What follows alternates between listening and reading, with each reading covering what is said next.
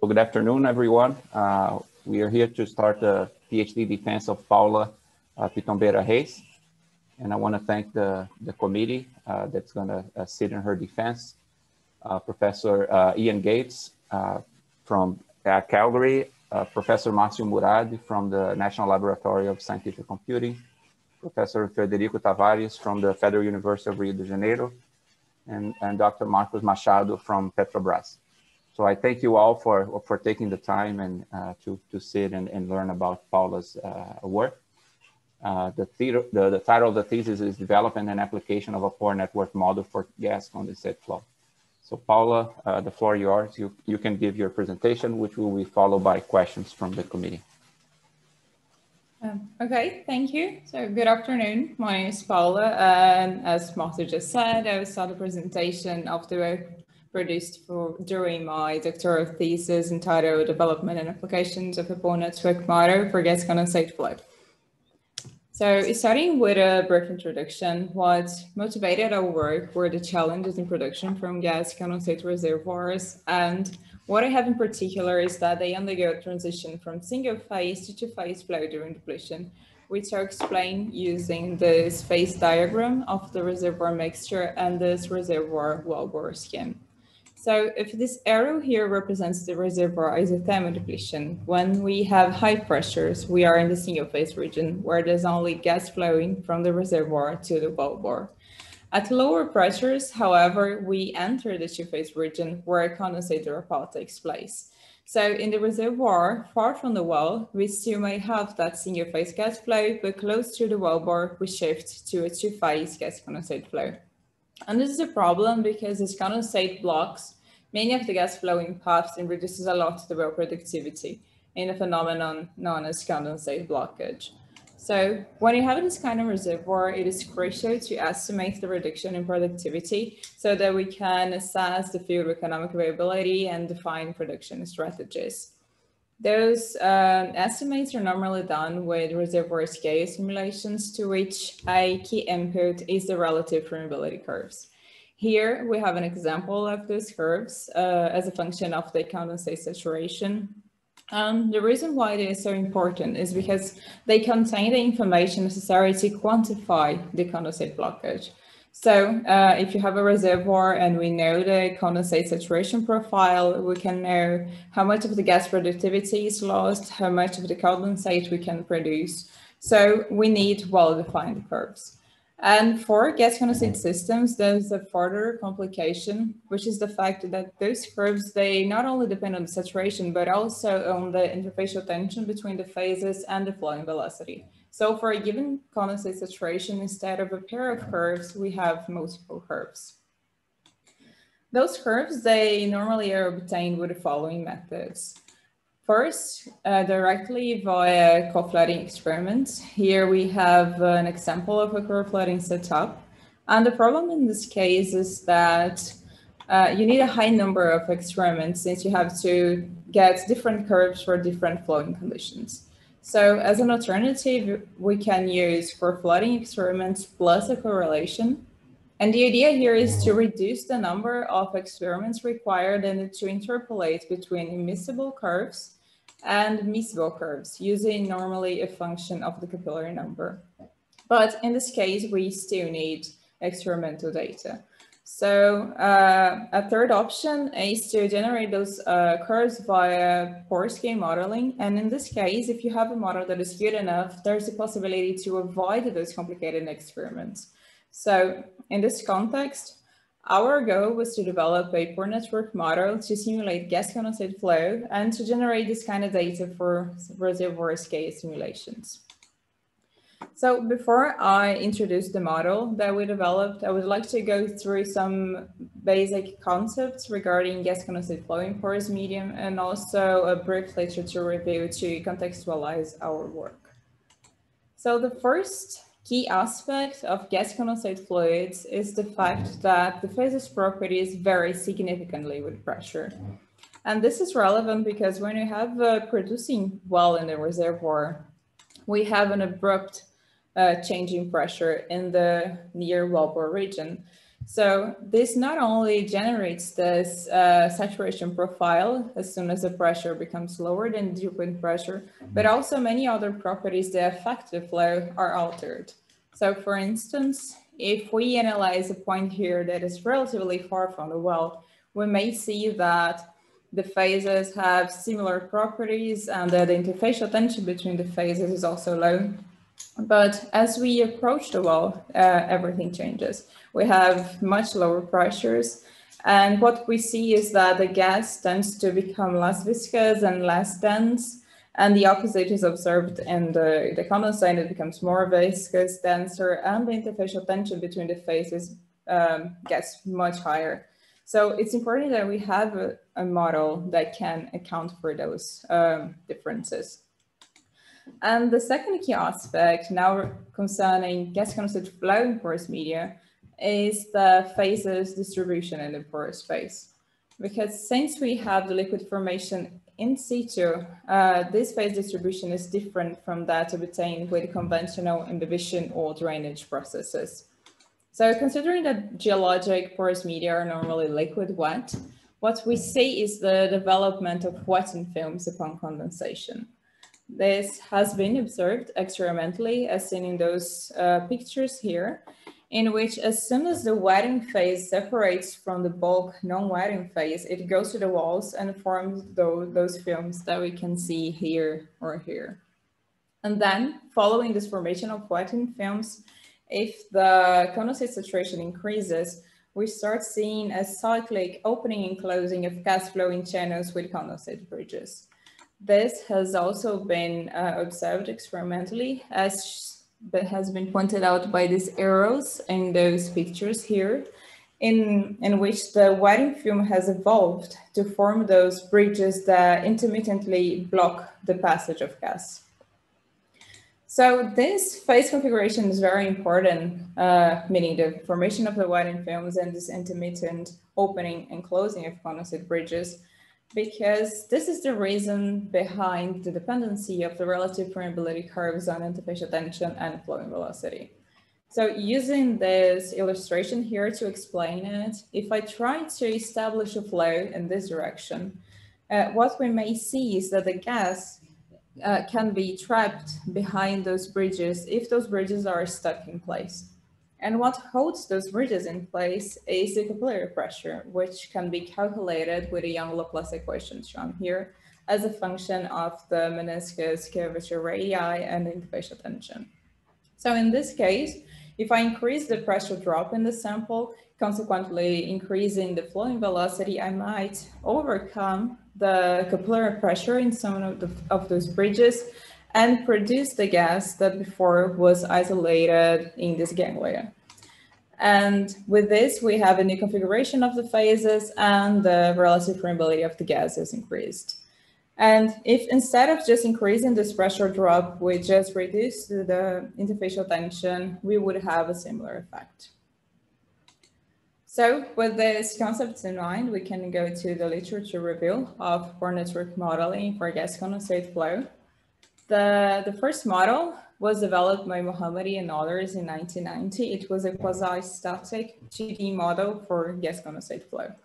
Then six years later, Feng and others, they, de they developed a different model now just to calculate the critical condensate saturation under gravitational forces uh, in the year of 2000, Li and Firoozabadi, they adapted this model proposed by Feng. And now uh, with the adapted model, they could uh, calculate relative permeabilities under gravitational and viscous forces. In the same year, Wang and Mohanty, they developed the first 3D pore network model for gas condensate flow. And also they were the first to include the inertial effects in the modeling. Uh, in the same year, Jamiolahmady and others, they developed the first detailed single pore model for gas condensate flow.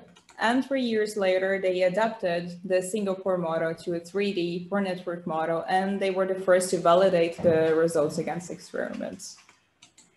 In 2017, Mohammadi and others were the first to determine the phases properties with phase equilibrium calculations.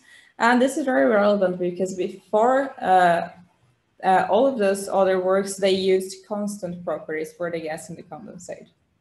And uh, finally, last year, Santos and Carvalho, they developed the first pore network model for gas condensate flow with consistent uh, compositional formulation. So with that, we can go to the model we're proposing now. And our basic idea was to associate this compositional formulation proposed by Santos and Carvalho with a more realistic representation of both the porous media and the two-phase gas condensate flow. To develop this model, we use the following assumptions. First, the model is isothermal. There are only two phases allowed to flow, the liquid and gaseous hydrocarbon phases. Uh, we enforce local thermodynamic equilibrium at the network nodes. The porous medium is slightly compressible. There's no flow within borders, and we don't account for gravitational nor inertial effects. Uh, now we can move to the model geometric aspect. We use networks of convergent divergent circular capillaries. This uh, equation here gives us the radius of those capillaries as a function of the capillary length, the minimum radius of the capillary, which is in the constriction, and the maximum radius of the capillaries, which uh, is in the extremities. We have no restrictions regarding the network topology, so we can have both these irregular networks that are based on pulse imaging or regular networks when this kind of information is unavailable. So if we zoom in on a small region of a network here, and this is more or less what we would see. And in the intersection of those capillaries, we define the network nodes. We use the index I for the nodes in the formulation. And they're important because in the control volume of each node, we calculate the model variables during the simulations. And here we have what we call an edge. In the formulation, we use the index J for the edges, and they're important because they control the transport between those nodes. So to quantify this transport between the nodes, first we have to define the phase configurations and flow patterns in these capillaries and that changes according to the saturation. So if you have a pressure that is above the dew point pressure, we have a single phase gas flow. Then at lower pressures, lower than the dew point, we start having an annular two-phase flow in which the gas flows in the capillary center and the condensate flows adjacent to the capillary walls. And in this configuration, if the condensate saturation increases enough, we may reach a critical condition above which the wetting film configuration becomes unstable. Uh, and in our model, we consider that this um, condition for instability happens when we meet this criterion here proposed by Beresnev. It's just a geometric uh, criteria uh, criterion, and also when the thickness of the wetting film is above a minimum threshold. So when we meet these two criteria, we say that a bridge of liquid is formed in a phenomenon known as the snap-off. And while this bridge is accommodated in the capillary, the flows of gas and liquid are interrupted. However, once this bridge is formed, uh, it can be moved, which would allow again the flow of both phases if the pressure drop across this capillary exceeds a critical value. And to calculate this, sorry, and to calculate this critical value, we use this equation here, which is a function of the capillary uh, geometry, the saturation, and the interfacial tension between the phases.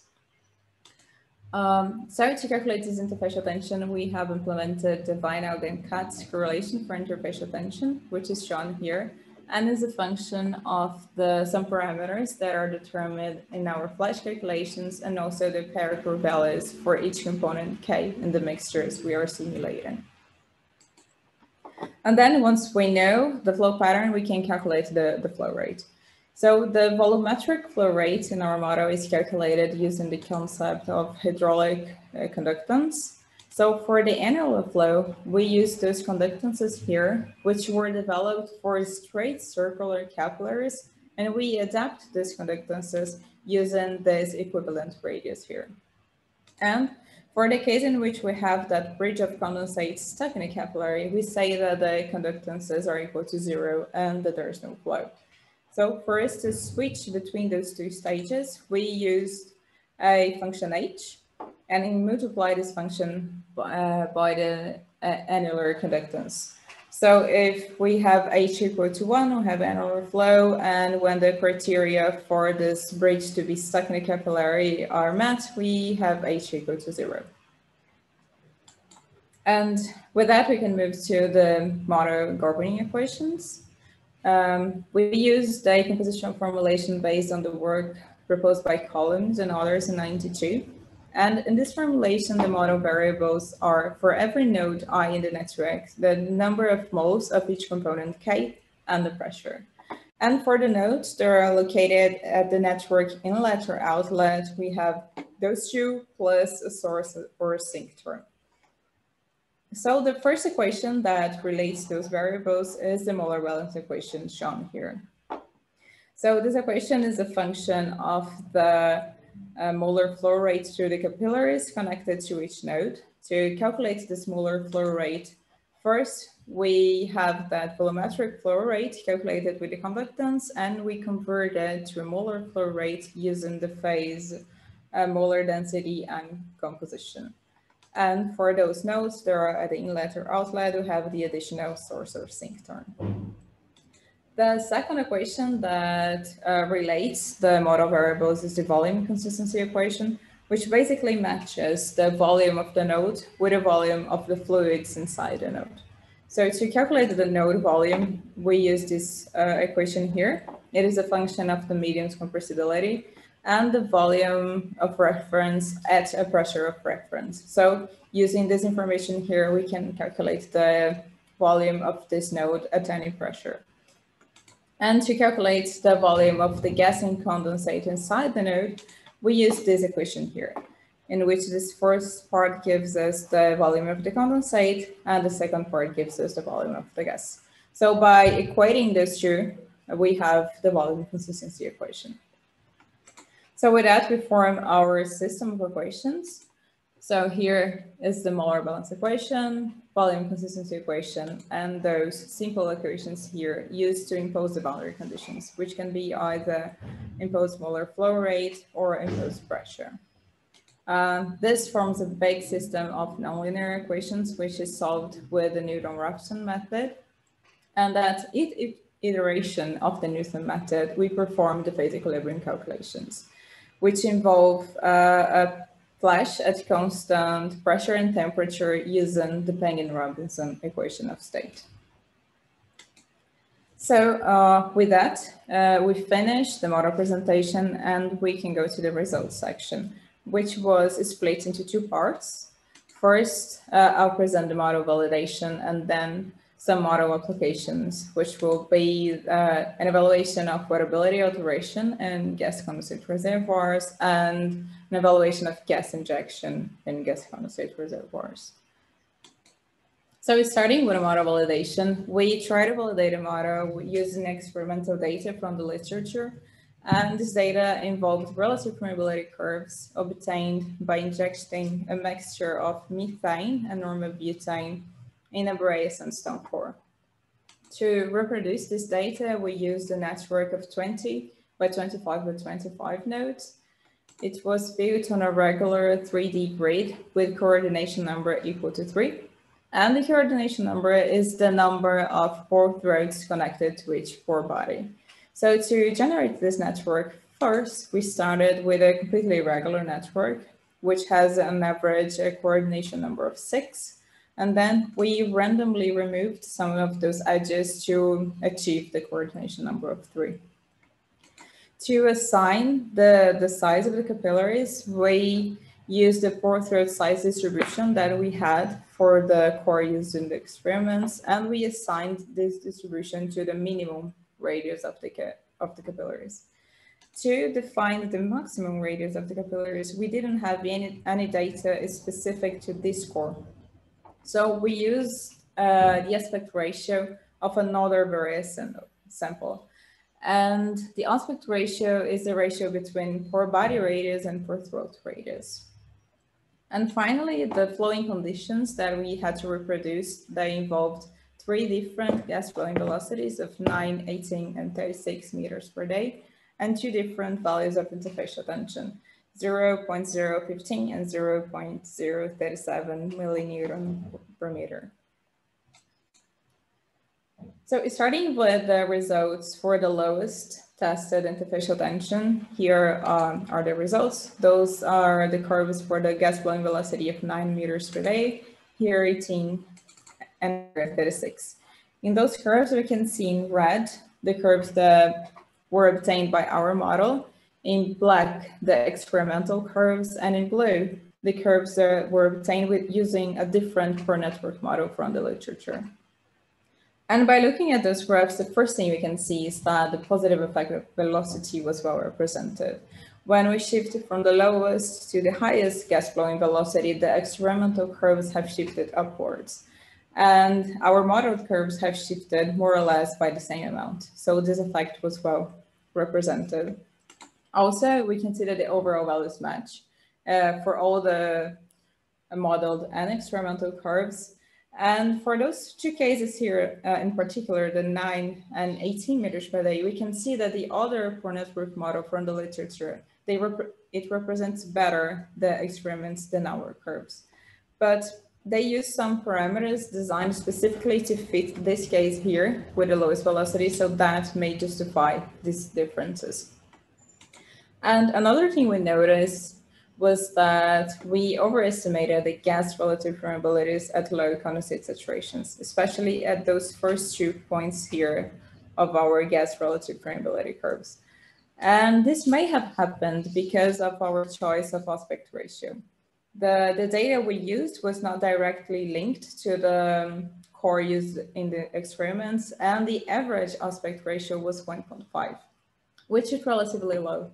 So if we had a higher aspect ratio, we would have more snap-off at lower liquid, liquid saturations. So we would have more condensate bridges and probably lower gas relative permeabilities at those points, and that could improve the results.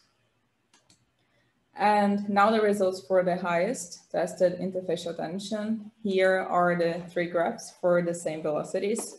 And in this case here, with a gas blowing velocity of 18 meters per day, we could compare uh, our curves with the experiments, the other model in blue, and yet another model in green from the literature. And now when comparing those three graphs here with the ones from the previous slide, we can see that the effect of interfacial tension was also uh, well represented those curves have lower uh, relative permeabilities and that was expected since the interfacial tension increased. Um, also, the positive effect of rate was well represented again, and the overall values match. And for this uh, value of interfacial tension in particular, I think that our model has um, outperformed the other two models. Uh, the blue model has been um, just uh, using like parameters to to fit the other interfacial tension and probably those parameters are not very good for this interfacial tension here. And since we don't use this kind of, of parameters, I think the ours uh, have represented better the experiments. And finally, um, we also noticed that we have consistently, both here and the previous slide, overestimated a bit the condensate relative permeabilities. And this probably happened because we modeled condensate flow as stream flow on smooth capillaries. And this is not very realistic, so probably including the effect of wall roughness could potentially improve the results. And just to finish the validation section, we ran also some result analysis using this case here as an example. And the first thing we looked into was the number of capillaries blocked by condensate bridges since this might be the main mechanism of condensate blockage. So when we analyze point by point, we notice that indeed, in those first two points, we have a very low percentage of blocked capillaries, which explains why our curve is above the experimental curve. And then as the condensate saturation increases, this number also increases very fast. And the second thing we analyzed was the composition variation in the, in the networks. Because since uh, as the liquid saturation increases, we see a buildup of the heavier components in the mixture. And in this case, since we only have methane and normal butane, the heavy components is have normal butane.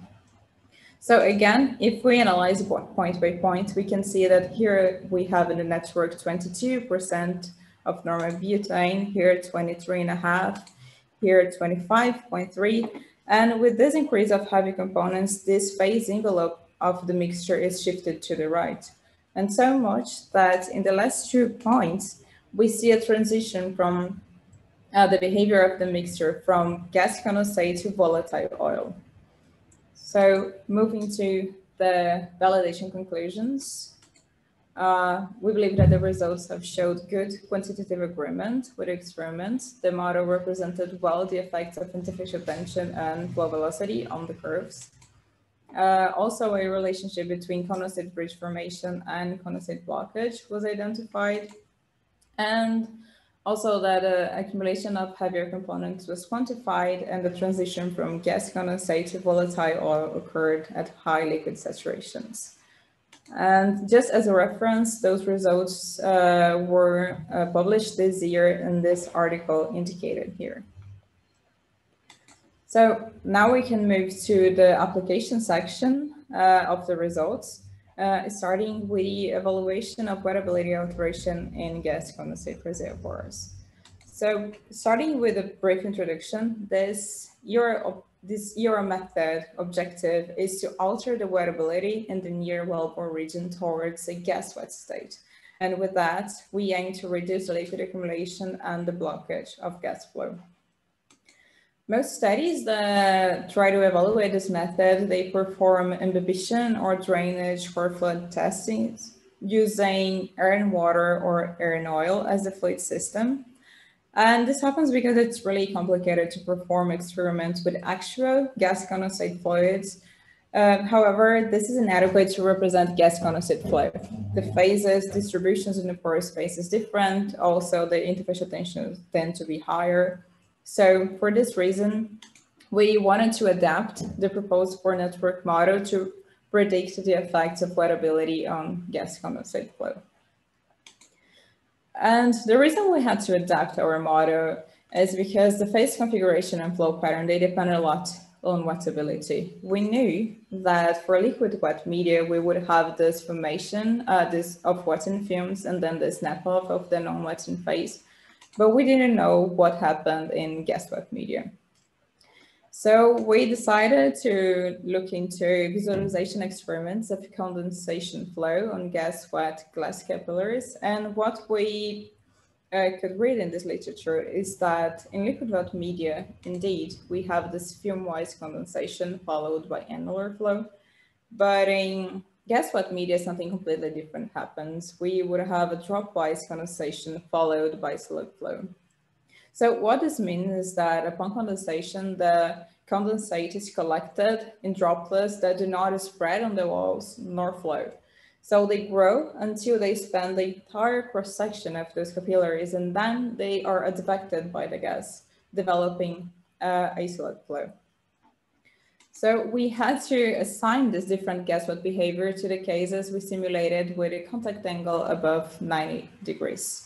Uh, just summing up the gas wet behavior, we would consider a dropwise condensation, then the formation of this liquid slug without fume on the capillary walls, and then these phases would flow with the same velocity, which would prevent liquid accumulation. So to implement this, we use those conductances uh, for slug flow. And also for all wettabilities in the model, we just corrected the calculation of the critical pressure drop to unblock a capillary to include this cosine of the contact angle. So uh, with the model adapted, here are the parameters that we use to evaluate this Euro method. So we adopted a sandstone-based network, as shown here, with an absolute permeability of 169 millidarcy, porosity of 17%, and the total volume of 1.75 cubic millimeters. Here we have the histograms of the maximum and minimum radii of the capillaries. To uh, study the wettability, we used a contact angle of zero to represent the original wettability of the rock and contact angles varying from 45 to 135 to represent the rock after treatment. We also analyzed many different uh, values of gas flowing velocity from seven and a half to 150 meters per day. And we used this uh, mixture here to represent the reservoir fluid. It has seven components. And the simulations um, were carried out at 80 degrees Celsius. And in this uh, range of pressures here between those two arrows. So we had pressures from just below the dew point pressure until the pressure in which the maximum liquid dropout took place. So moving to the results of this section, we use something called improvement factor to uh, measure how much the, the gas flow has improved or not after the treatment. So the idea behind the improvement factor is to compare the gas relative permeability of the treated rock uh, with the gas relative permeability of the untreated rock with the same flowing boundary conditions. So if we found uh, an improvement factor above one, we would have flow improvement. And if we found an improvement factor below one, we would see a flow impairment. And these are our results. Uh, each of those squares here, they represent a different wettability. So here 45, 60, 75, 105, 120, and 135 degrees. The colors, the dark blue is 0.5 and this dark red is 2. And in those squares from P1 to P6, we had all the tested pressures in ascending order. And from Q1 to Q7, all the seven gas flowing velocities also in ascending order. So by analyzing those results, the first thing we could notice is that contact angles closer to 90 led to higher improvement factors. This case here with 105 and here 75. And that was expected since as we approach 90 degrees in the contact angle, we minimize the capillary pressure. So we minimize phase trapping. Also, we noticed that at lower pressures, we had also higher improvement factors. The lower pressures are in the left side of each of those squares. And this happens because at lower pressures, we have more liquid and higher interfacial tensions. So those are the cases that without the treatment, we have the worst conditions for gas to flow. So once you uh, implement this treatment, we have good re uh, results. And now just analyzing the gas wet cases, we realized the, those three bottom squares here. Uh, we realized that there's a more significant rate effect. And this happened because while in the liquid wet cases, we may have some capillaries blocked by the condensate, but some capillaries are still flowing in annular configuration. In the gas wet cases, all capillaries can potentially be blocked by those liquid slugs. And since the rate effect uh, lies on this blocking on and unblocking of capillaries. In this case here, we have a more significant rate effect. And finally, we also could see that for those cases, we could have improvement factors below one, which indicates uh, flow impairment. And this happened uh, at low gas flowing velocities and high pressures. So at least those conditions, they are not predominant in the near wellbore region. And while they are possible, they are unlikely to occur. So as the partial conclusions of the evaluation of wettability alteration to prevent condensate blockage, uh, we have that this ER method could lead to significant gas flow improvement, especially at low pressures. But the positive rate effect increased with wettability alteration to preferentially gas wet. That also preferentially gas wet media could lead to gas flow impairment for low and moderate gas flowing velocities and as future work in this area, I think that it would be interesting to try to implement a more gradual flow pattern transition between the liquid and gas wet media. Also trying to define the contact angle as a function of the system thermodynamic state, and also defining a minimum condensate saturation for slug formation in gas wet media. And just uh, as a reference, these results uh, were published last year in this article indicated here. So finally, the, the last part of the results section uh, is the evaluation of gas injection in gas condensate reservoirs. So the, the objective of this ER method is to promote partial or full pressure maintenance in the reservoir with gas injection and to revaporize the accumulated condensate. This uh, ER method has been investigated through core flooding experiments and compositional reservoir scale modeling, but no core scale evaluation has been reported in the literature. So for this reason, uh, we had an idea to use the proposed pore network model to evaluate condensate revaporization in porous media with gas injection. And I'll explain the procedure we used to evaluate this ER method. First, we used the same sandstone-based network from the previous section, and we separated this procedure into three steps. First, condensate accumulation in the network, and then condensate revaporization with gas injection.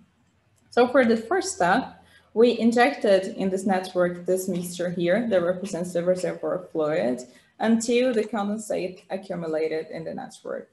This procedure took place at the temperature of 60 degrees Celsius at, and at six different pressures to represent different levels of depletion in the reservoir.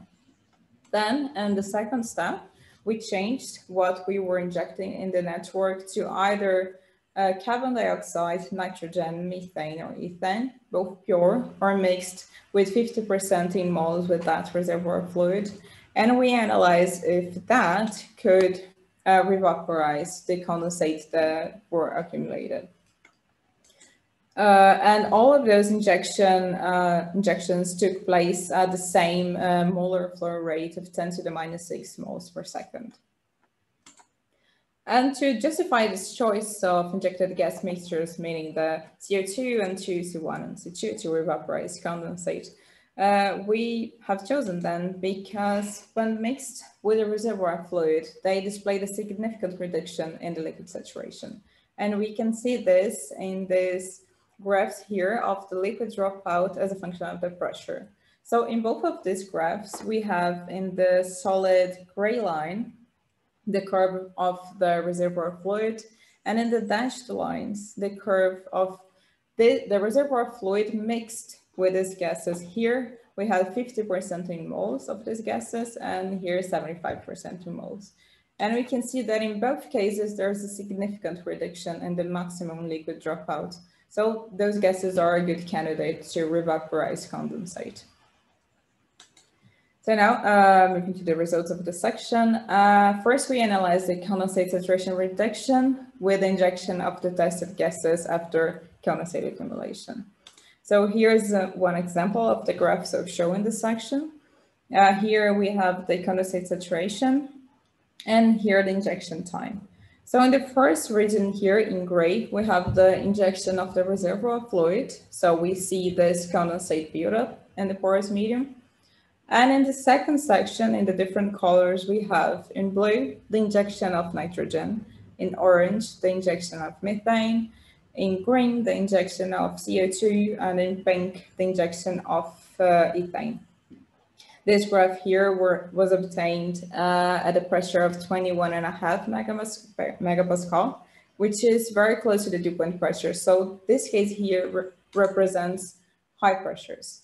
And what we saw at high pressures is that we have a fast revaporization of the condensate. We can see that right in the beginning of the injection of those gases, the uh, liquid saturation decreases abruptly. And also that by the end of the second step, all gases had great results. They all could significantly reduce the condensate that was accumulated in porous medium. Then, as we reduced the pressure, uh, we started seeing that the revaporization process became much slower, and also that there was a greater contrast between the different injected gases. Uh, while CO2 and C2 still had like similar and good results, in this case here, the injection of methane left behind 10% of condensate and the injection of nitrogen left around 15%. And finally, at the lowest acid pressure, we had something completely different. The revaporization process became very slow, as we can see here. During the time we ran the simulations, I think I don't think we like reached near the steady state condition. And even for the best results, which were obtained uh, with injection of ethane, we still had around 18% of liquid in the porous medium. So the, the method was not very effective at this low pressure.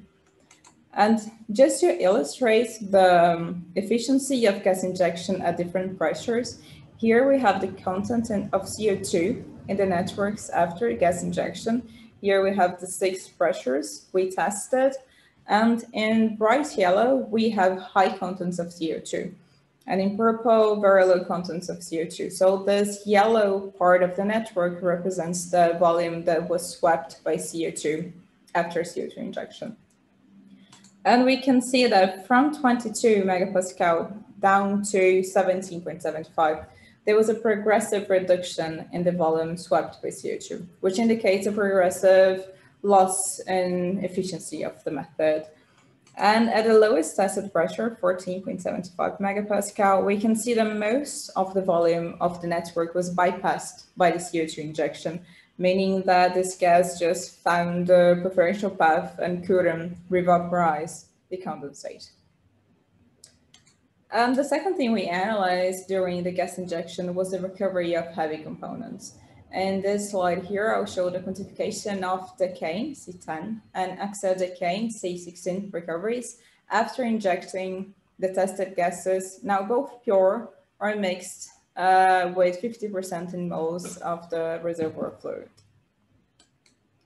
So here in the left, we have the results for the decane and here exit hexadecane we have the recovery uh, in moles, in the percentage of moles that were recovered from the network, and we have here all the tested pressures. And we could see that at high concentrations, all tested gases could recover well the C10. Those recoveries here, they are uh, proportional to the reduction in liquid from the networks, which indicates that those all the tested gases could revaporize the C10 and produce it. But when we analyze the C16, we have a difference uh, in the case of the nitrogen injection. So this means that even though the nitrogen could reduce a lot the uh, liquid saturation in the networks, especially at high pressures, it could not revaporize this component here. So the C16 continued trapped in the porous medium. And uh, finally, we also uh, tested the injection of those gases mixed with the reservoir fluid. And we realized that while for the CO2 and C2 cases, we still had a positive recovery of the heavy components, um, the, the opposite was observed with injection of methane and nitrogen, and which means that once they are flowing in the reservoir mixed with the reservoir fluid, they were not able to recover the heavy components. So uh, as the partial conclusions of this uh, section of the evaluation of condensate recovery in porous media with gas injection, we have that gas injection can be an effective method to eliminate condensate banking, that injection of ethane into CO2 display the overall most favorable results that the EOR method was more effective at high pressures and that the injection of methane and oxygen can lead to early condensation and be ineffective to recover heavy components when flowing mix with the reservoir fluid. As future work in this section of my study, I think that we should evaluate the effects of gas injection rate and porous media heterogeneity on the recovery of condensate and that also it could be interesting to try to adapt the model to include diffusion uh, effects. And to wrap up the presentation, as final remarks, we have that a compositional dynamic network model for gas condensate flow was presented. The model was validated by comparing numerical and experimental relative permeability curves at varying interfacial tension values and gas flowing velocities that besides the prediction of condensate blockage, the model can potentially be used to evaluate EOR methods for gas condensate reservoirs. And as future work in the model, I'd suggest uh, including the effect of roughness on liquid film flow, expanding the model for polyhedral capillary cross sections, and maybe as asymmetrical pore elements, and also comparing the model results with experiments performed with a greater range of parameters and especially involving the tested EOR methods. And to conclude, I would like to thank all the agencies that funded this work and everyone for watching. Well, thank you, Paula, for, for your presentation. Uh, we begin now the, the, the, the session